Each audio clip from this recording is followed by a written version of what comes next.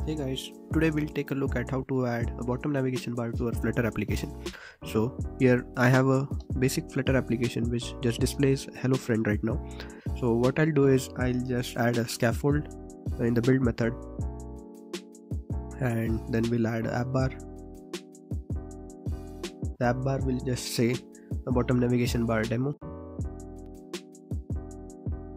As you can see, app bar is now shown in the application now let's add a body for this scaffold uh, which will just be a center widget with the text inside it which just says first page. And now comes the fun part. We'll use the bottom navigation bar property to add the bottom navigation bar for this application. So bottom navigation bar takes uh, item property which is just a list of bottom navigation bar items. So we'll create three bottom navigation bar items one will be for home the second will be for media and the last one will be for account. So i'll just add uh, icons and title for these navigation bar items. So as you can see the navigation bar is shown uh, in the flutter application but if i click on any of those items nothing will happen. This is because we haven't handled the on tap method for this bottom navigation bar. So for this we'll add a variable called select item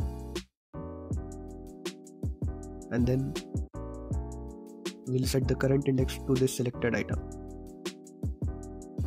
So now what we have to do is we have to somehow update this selected item whenever user taps any of the bottom navigation bar item. So for this we'll use the on tap property of bottom navigation bar. So this just takes in a void function with an int input and inside that we'll call this set state so that our whole widget gets rebuilt and inside that we'll set the selected item to the index as you can see if we select the bottom navigation bar items now it will change and the selected item will get highlighted. Even though we have implemented this the body of the scaffold still shows first page. So now we'll try to implement three pages and depending on the selection of bottom navigation bar item we'll switch the page inside the scaffold. For this we'll create a new file called pages.dart and inside that file we'll create three classes. First page second page and third page. They'll basically just have a scaffold inside them and a center text which will tell us which page is it. So now we'll create a variable which will be a list of all the three pages. We'll replace the text with this pages with uh, the index of selected item.